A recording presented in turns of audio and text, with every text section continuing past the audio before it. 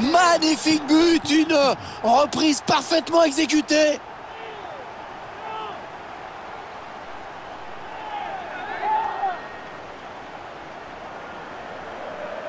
Voilà le ralenti de ce centre qui est à l'origine du but. À l'arrivée, on ne peut pas dire que la volée soit franchement réussie, mais bon, euh, c'est peut-être ça aussi qui a trompé le gardien. On voit ce but sous un autre angle.